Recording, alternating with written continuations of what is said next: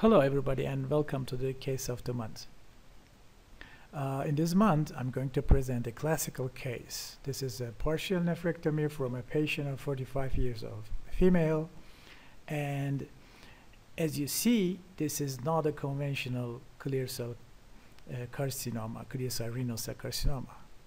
So it's, it's composed of uh, brownish areas, mahogany brown, we can say, and other areas, the rest of the tumor is yellowish, uh, cream colored, and this is somewhat solid. It's, it's, it's not cystic, it's solid, and we don't, we don't have any orange to uh, bright yellow areas, so it doesn't look like uh, clear cell carcinoma. Under microscopy, as you see here, the, the tumor is composed of oncocytic cells with some clear, clear looking areas. Uh, and when we come closer to that areas, actually the, the tumor cells are generally looking more uh, oncocytic with uh, large cytoplasm and the, the, the cells with larger cytoplasm has also some oncocytic features, but the, the cytoplasm a little bit diluted. So that's why they, they are looking as they as if they are clear, but they are not actually clear.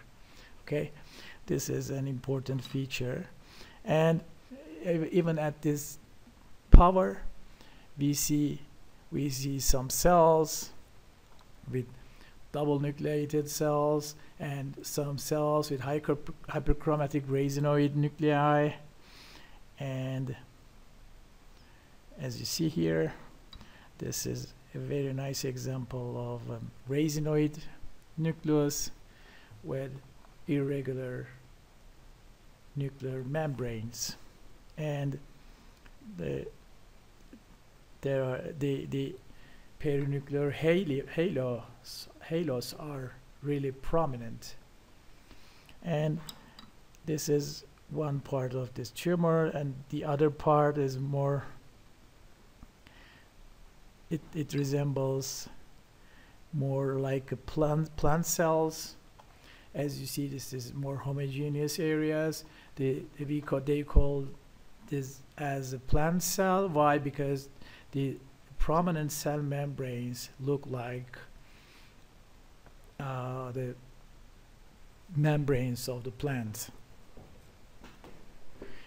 And sometimes we can see uh, such cells uh, with these raisinoid nuclei within clear cell carcinomas, but you you have to appreciate that these are not clear cells and these are oncocytes, oncocytic cells. And uh, this is a classical example of chromophobe renal cell carcinoma uh, and clear cell, presence of clear cells or any papillary structure is not allowed uh, for the diagnosis of chromophobe renal cell carcinoma. And actually, when you see these type of classical example, you don't need stains, but just to remind, these tumors are Vimentin negative, cytokeratin 7 positive, and uh, CA9 is negative, typically. And it's not, uh, although it's not graded by ISUP, there are some attempts by Paner et al., but it's not widely accepted. But according to the Paner grading of chromophobe carcinoma, this is this is graded as grade 2. Why? Because we have this uh, the cells with scanty cytoplasm just scattered between the normal looking chromophobe renal cell carcinoma cells. So this is a Paner grade 2 chromophobe renal cell carcinoma, a classical example. Thank you very much.